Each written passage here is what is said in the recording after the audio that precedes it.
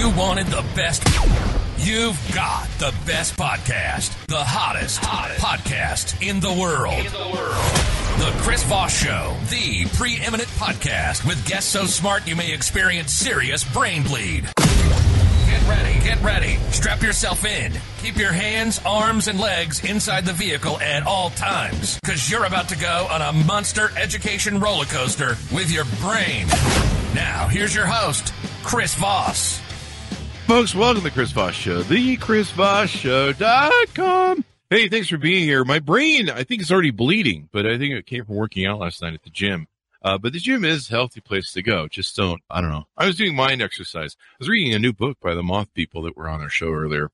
Anyway, guys, uh, thank you for tuning in. As always, put your arm around that friend, look them deep in the eye, give them that look that you really care and say, you should subscribe to the Chris Voss Show podcast, the family that loves you, but doesn't judge you which is the best kind of family there is. I mean, I've seen some of your family's people. Give me a break.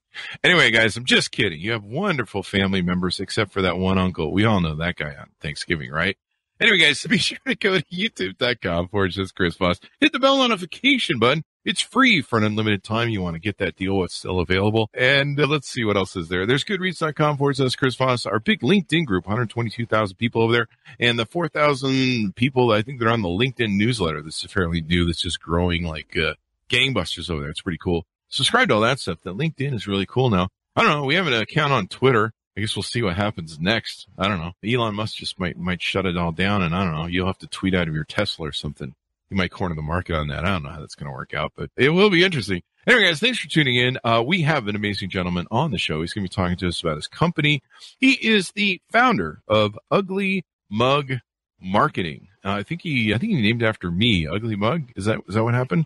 Wayne Mullins is on the show with us today. He is a husband, father of four, uh, CEO, entrepreneur, and author. He's a generous soul, a risk taker, and out of the box, against the grain thinker and leader.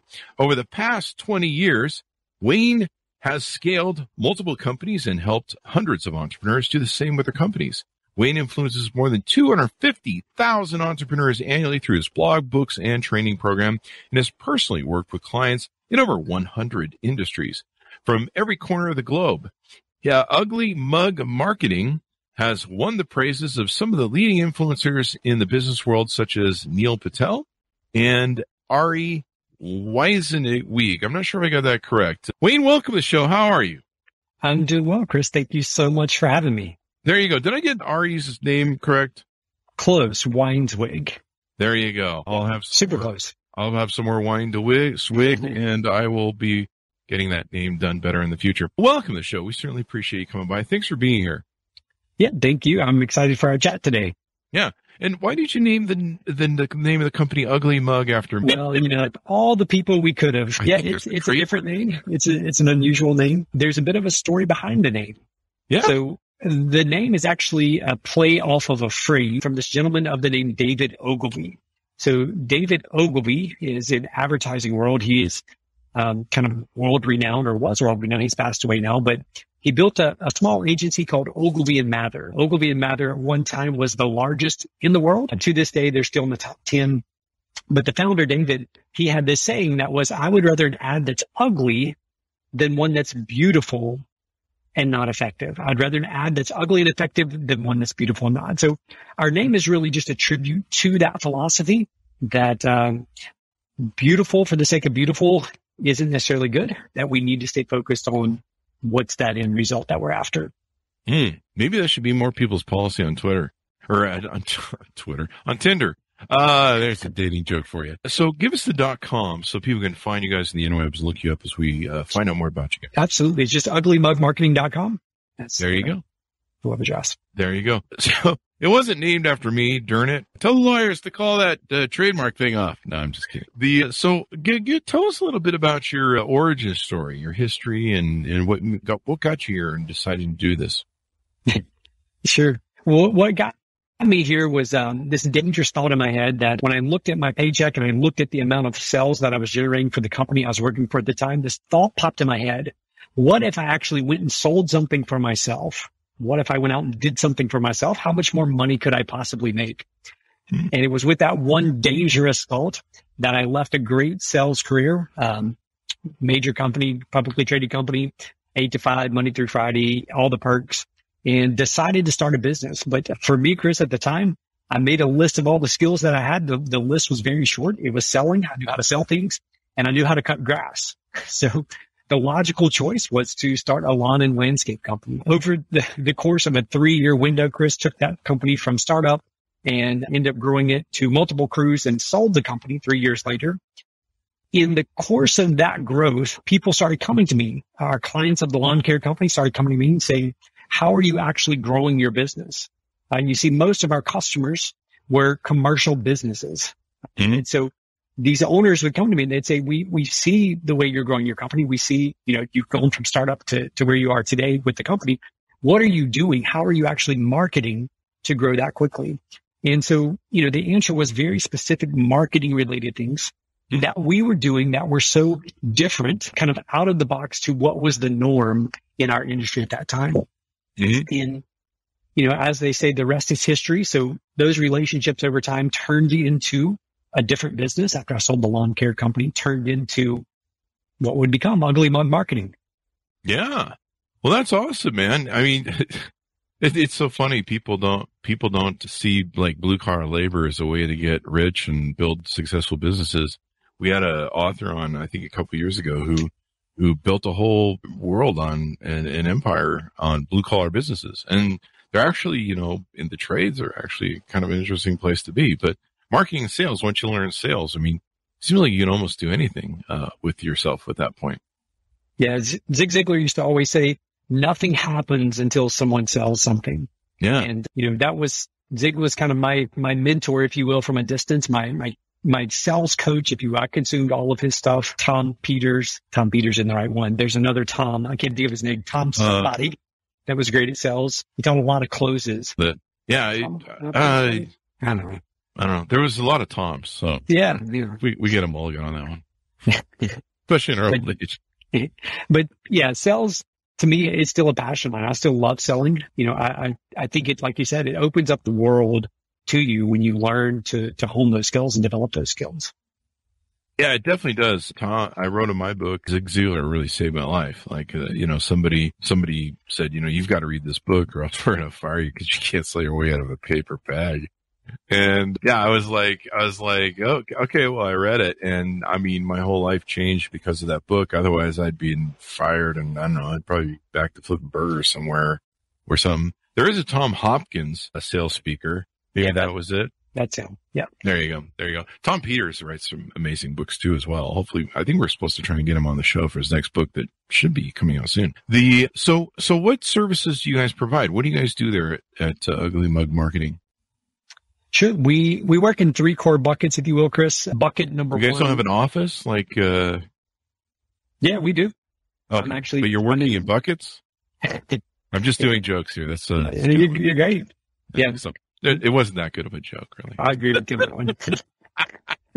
no, we, web development's one, one of our, our services. I won't use the word bucket again. One of our services. Okay. We also do social media, specifically Facebook, and Instagram, some LinkedIn, and then we do general marketing, for lack of a better term. So mm-hmm. everything from television, radio, print, billboards, whatever it may be. I mean, really, the bucket. I'm looking at the bucket behind you. It, it's really designed well. So, but thanks. It's quite big. It's quite a large bucket. Anyway. Yeah. We, we won't use that as a callback joke for the whole show, but I, I just thought it was it was a funny place to put that right there. So you guys do a lot of services, and you have a large group of people that work with you or work for you, I should say. Yeah, there's uh, 10 of us full time here in the office. I guess if you count me, that'd be 11.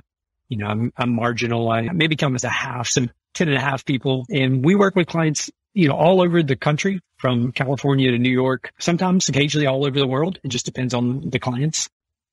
Mm-hmm. That's awesome, man. And, and so you just help them achieve their results in marketing. I'm looking at your guys' website here. Let's see. I need to move this just a little bit so I can see all the services. Website design, results based marketing, social media marketing, visual speaking, SEO. So you help people uh, do all these different things. I know there's a career tab on your website. Are you guys hiring or, or, uh, are you just talking about your team and stuff like that?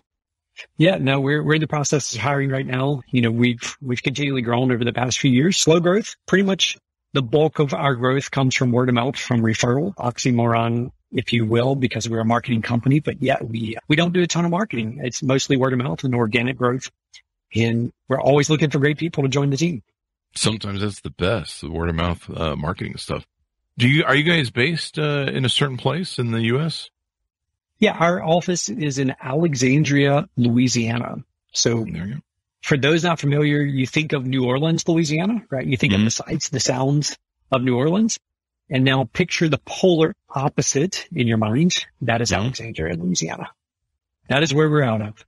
There you go. Do you guys do, are most of your clients, I mean, you, you already told me your clients are kind of international and stuff. How is the South like for business? I mean, is there a lot of people coming online, a lot of brick and mortar people looking for services and stuff like that?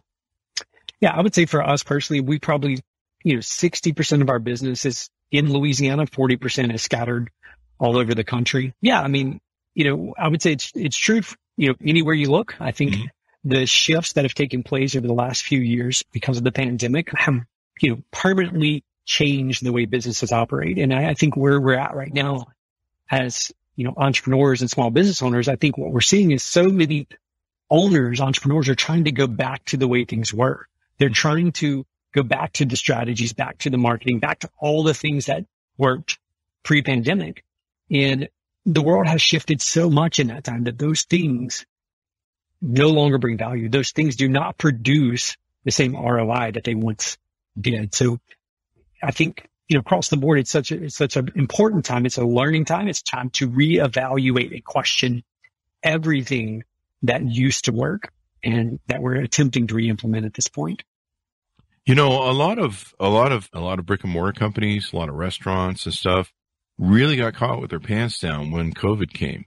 I mean, a lot of them are, it's like, Hey, you've got to convert to you know, having online sales, delivery, or, you know, at least be communicating like when, when you're open. Like one of my friends, Dennis Yu, who interviewed, we interviewed the start of the thing between him and I, we couldn't believe how many companies weren't putting on their website or their Google update for search and SEO that they were open. They were still open. And like the, whatever their hours were or new hours, that was a big problem I had after COVID started. so everybody changed their hours and you're like, I thought you're open. I drove like five miles to come here. And a lot of people got caught with their pants down and it cost, I think some people, their businesses, especially restaurants, some people scrambled and adapted. If they already had their websites going and, and, you know, from what we've seen, like with the jobs of people where they don't want to go back to the office because I don't know, living at home and doing your work in your underwear is kind of fun. The, you know, people, people are kind of more at home now, especially from what I just said. I mean, people are working from home, so they're probably going to order food for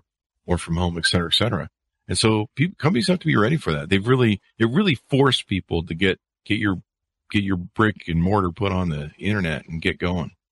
Yeah, no, I completely agree with you, Chris. I think one of the things that the pandemic did was it, it actually, it didn't, you know, we hear a lot about it. it the pandemic broke my culture or now people don't want to work or they don't want to show up. They don't want to do all these things. Like the culture of my company is now different from the pandemic. And my response to that is no, the pandemic didn't actually break or do anything to your culture. What it did was it actually revealed your true culture. It uh-huh. revealed what was actually there before. You know, I often say that leaders aren't needed when things are easy. Mm. And so pre-COVID, pre-pandemic, business was relatively easy. Things were pretty consistent. They were, you know, growth wasn't that complicated. You know, obviously there's ups and downs in every business, but you know, for the most part, you show up, you do the thing and you're going to, you're going to succeed every time. But the pandemic really shook all that up. It, that no longer was true.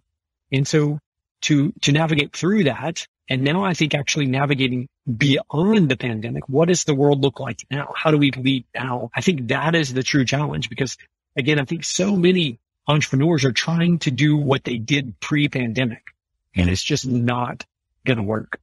Yeah. And and what do you see the future of marketing going and, and where we're going? Are you know, I mean, uh, where where do you see the future where marketing is going with post pandemic? Yeah, I, I believe, Chris, that I hope that the future marketing is actually going to the past. So the future, I hope, is going to the past. And, and what I mean by that is we're coming out of a season where advertising online was easy, right? You, you click a little button on Facebook and you can reach a lot of people and you know, it made you feel good. It made Facebook feel great because they got your money and you reached some new people because we were in a time of expansion. In other words, more and more people were joining the platform or whatever the platform may be. And now what, what I think people are realizing is this segmentation or the number of options that exist in terms of platforms, it's never going to stop expanding. In other words, there's always going to be the next social media platform, right? Mm-hmm. So whether or not Elon Musk does something crazy with Twitter, whether he does nothing different with Twitter, like the, the fear that a lot of people are having around this is what are the changes going to be? And where I think we're hopefully going to go is back to the old days where when you treat people well, when you exceed their expectations, when you provide them with exceptional value and exceptional service, um, you can build what we would call these things called evangelists, right? So we're borrowing from the church community, but evangelists are people who so love your product or service that they're willing to go tell their friends, their clients, their neighbors, et cetera about you. And I hope that, you know, there's the shift back to the quote unquote good old days, right? Where we, we believed in the value of our existing customers so much that we're willing to invest in them. We're willing to spend our mar- marketing dollars nurturing those relationships instead of just throwing money trying to get the next new person in the door. So yeah, that's kind of my hope of where we're going with marketing. We definitely need to work on the customer service end of all that. It's, uh, I, I'm always amazed at how many people, especially with Facebook pages, uh, I send messages to, uh, you know, we do a lot of shows and events and interviews with CEOs and stuff. I'm just astounded as to how many people we send messages to on Facebook pages that it's just I never get answers. We'll send in like online forms and like we'll get a, we'll get an email like, I don't know, three weeks later. Be like, yeah, yeah, it's got, it's got lost in people who don't give a crap. And yeah, we're just getting back to you. And I'm like, you know, if I was a customer, I already want would have bought with somebody else. Like, you know, this is customer service has really gone downhill with yeah. what, with what everything's going. And, you know, maybe that's the problem. Like you say, where everyone's trying to chase the next biggest, the next customer. And one of the, one of the things you have is there's some stats that, you know, probably go back decades where your, your best customers and the, the best business, if you're going to get it, is from your current database of customers. You know, it, it costs less to, to plumb that field or whatever, till that field to, to get more business out of your current customers than it is to acquire a new customer. Yeah, no, you're spot on, Chris. One of the things you mentioned, you know, when you're talking about you fill out, you message somebody on Facebook about, you know, whatever the thing may be, and then they don't respond or they take weeks to respond. I find that it's often those same people who then turn around and complain that Facebook doesn't work or that Facebook's not effective for growing their business, right? It's, it's those same people. It's the same people who you form on the website and it takes them three weeks to respond it's those people who say there's not much value in having a website. And to your point, there was a study done by Bain and Company or yeah, Bain and Company, large consulting firm, and they surveyed 4,000 small businesses around the United States. And they asked them on the scale from one to five, how well do you rate your customer service? So the top of that list was exceptional. Below that was great. Below that was good. Well, that was average. At the bottom was terrible. So they surveyed these 4,000 business owners and 80% said we provide the highest level exceptional service.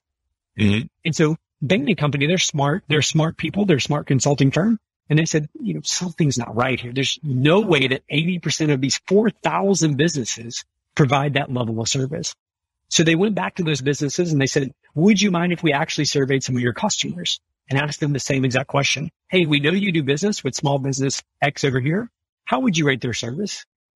And so they, they went and did that study and they came back and only 8% of the customers agreed that they provide exceptional service. Oh, wow. It, that's exactly your point, Chris. Was we are often so delusional as entrepreneurs, as business owners in terms of the level of service that we truly provide because this is our baby, right? We don't want to call the baby ugly. We don't want to say that we've got these, these terrible flaws or that we've got, you know, all these gaps in our customer experience. Hmm. We don't want to admit that, but my hope is that we'll return to that. Like you were saying, customer service seems to be at this all time low. It's at, you know, it, it's just, it's, I guess, going downhill so far that expectations, I think, have dropped over time. Mm-hmm. But as expectations have dropped, service has followed them down that path, right? The level of service provided has followed. Yeah, it's it's just like it's just like no one cares anymore. Does their job. You're just like, you know, it's really bad too when I go into like uh, most business places and so many people, so many employees are on their phone, and you're just like, hey, can I interrupt whatever you're doing there on TikTok and ask you a question? And you know, they look at you like you killed their mom or something. You're just like, seriously, dude. So yeah, it's it's kind of interesting how the whole thing's working out. What are some other aspects of what you see in the future for business or tips maybe you have or things that revolve around the services you provide? Sure. Yeah, absolutely. I mean, the very first thing that I would say is, you know, I completely agree with what you're saying about customer service. I personally believe that that is the key right now that any small business owner can do to differentiate themselves from their competitors. If you can lean into providing a noticeably different level of service, you will succeed. You will succeed because we live in this world, like it or not, where every single person in their pocket or in their purse has this little device, right? And with this little device, they can broadcast a message to the entire world. And we as business owners, as entrepreneurs, we do a terrible job of thinking through what are the ways that we can create surprise? What are the ways that we can create a level of remarkability Mhm. into the products and services that we provide? It doesn't matter the business. You know, so for so many people, I think, well, I'm, you know, my business is just an average business. You know, I just, I, I cut lawns or I cut hair or I do plumbing. There, it doesn't matter the business. There's always something that we can do in terms of service to differentiate ourselves from everyone else around us. And just sit down and think through what are the things that we can do in such a way that it's so different, so remarkable. Remarkable doesn't mean expensive, but so remarkable that people would be willing to share about it, to tell their friends, tell their neighbors about it on social media. Influencer marketing. And of course, what's the old adage? Uh, if someone loves your product or service, they'll tell at least six other people. Yeah. And I don't know Yep. if that's still true. It was like, you know, I think that's from 30 or 40 years ago, but it's true. But, you know, if somebody doesn't like your service or product, they'll tell the whole bloody world. Yep. You know, and I'm renowned for that. If I love something, I, I tell everybody about it. I'm like, you got to check this out. I've, you know, we, and we try and review a lot of things on the Chris Voss show out for 12 years now. But, you know, people just call me all the time and they're like, yeah, I saw you reviewed like those 10 speakers. Like, which one did you keep? Cause we know you keep the best ones and you, you hand off the, the other ones. And, and that's funny because they'll call me and they'll go, what are you using? What are you using now, Chris? And I'll post about what I'm using and stuff. And, and I go, I really like this. And, you know, sometimes it's not a product maybe you either reviewed, maybe I bought it myself. You know, I, I like good products. And so we tend to talk about, it. we post about on Facebook. People, I see it all the time. They're like, Hey, I'm trying this, I'm doing that. You know, people talk and, you know, and it's hard to, it's hard to measure that sort of engagement. Like, you know, people would be like, well, how many eyeballs do we get? How many sales do we get? Yep. And they don't, they don't, they can't measure the long term sometimes of some of those interactions and how they, how they actually feed into themselves and get people to buy.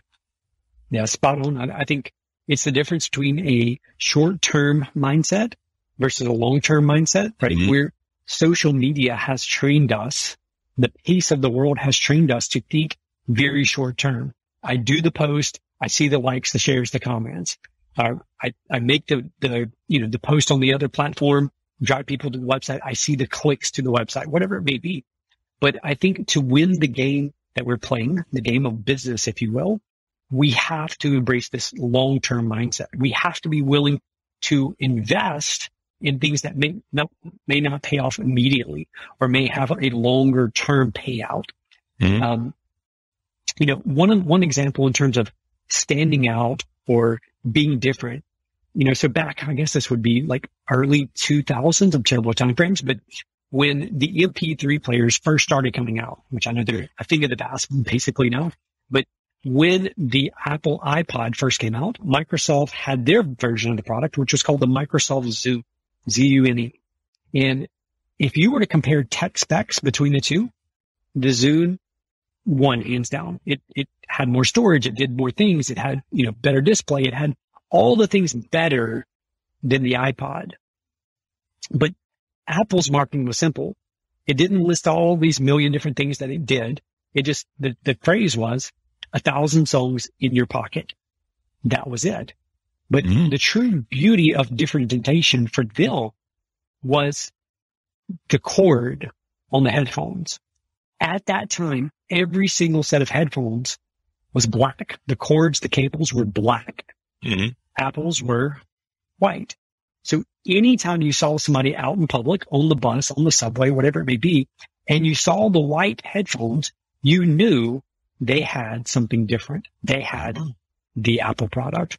And so it's little things like that that we can do, no matter the size of the business, that helps us stand out in Mm. the crowded marketplace. That's awesome.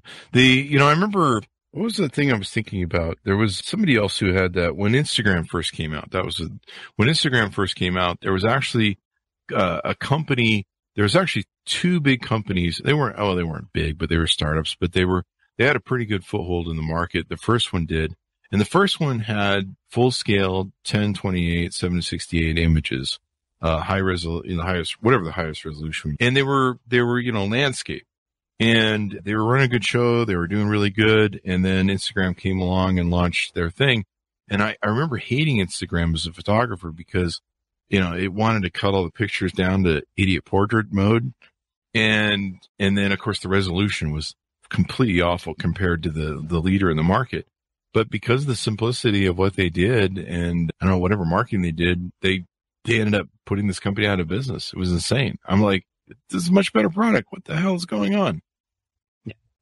We often, I think, believe that we have to have something better. And I think different is the, the better word to look at. Yeah. Better, but different. And, you know, if you look, Apple's a great case study on this. You know, some of their original campaigns were think different. Ah. Do you think it's because different is an easier way to differentiate stuff? Like it's it's probably easier than reading the tech spec list. You're just like, hey, well, they say they're different, so they must be different. Yeah, absolutely. And, you know, people don't care about all of the things. They want to know what it will do for them. Ah. You know, they want to know. So an example that I know, phrase that I like to use is this, that people are interested in their interests, not in your product or service. So people are Mm. interested in their interests, not in your product or service. So, you know, let's just say you make golf clubs. People don't care about your golf clubs. You can say your golf clubs are better. You can say they'll drive the ball further. They don't, they don't care about any of that. What do they care about? They care about their game, Mhm. right? So you know that?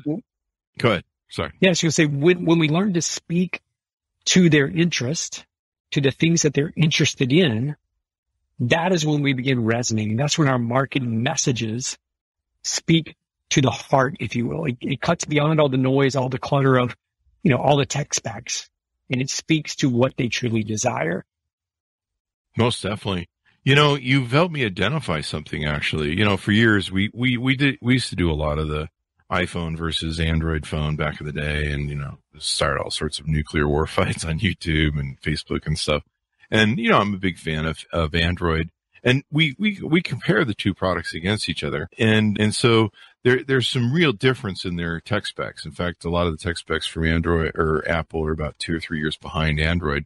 And and Tim Cook has been really honest about it. He says, you know, we do that to maximize profit and you know, we we we follow the market instead of leading the market. And what's interesting to me is when I when I've tried to always explain tech specs to iPhone users, they they say what you say, where they're just more interested in the comfort of what it brings to them. They're like, I have an ecosystem. I have my music and I have my computer, my Apple computer that works with, and I have the mail and you know, it's a it's a whole ecosystem, Chris, that makes me comfortable. And yeah, maybe it's not the greatest phone in the world compared to Android, but it, it works with this ecosystem, of making my life easier. And you'll you'll talk tech specs with them, and their eyes will just glaze over, and you're like, but but this is this has 8K cameras, and you're paying more for a phone that's 4K cameras. Do you, do you understand why that sucks? Like, but but they don't care. They they they the comfort and the and the well familiarity and you know all that sort of good stuff. So it's more about how they personally feel about it. So you've really helped me Yeah. identify that. Maybe I'll have less arguments on Facebook about which is better now. Yeah, the the thing that so I started out as an Android user, and this was way back in the day. My first phone was the the Droid, the Motorola Droid. Oh God. so it had the slide out clip, you know, slide out uh, keyboard on it. It was great. I loved it. Before that, I actually had the Palm Treo was the, Wow. the first one I had, but I was Android. But then it came time for me to go upgrade to get a new phone. And I went in and there was all these different types of Android devices at that time. And so I didn't know which one was better. So like, do you get the Samsung? Do you get the LG? Do you get the, what do you get? And I was doing all this research. I was trying to figure out which one was the, the, the best. And I finally just gave up and I went and bought the iPhone and like, I'm done, I'm done with it. There's the simplicity of it. Yeah, because it, it did get out of hand. There was like way too much in the marketplace of craziness. And, you know, what does this do?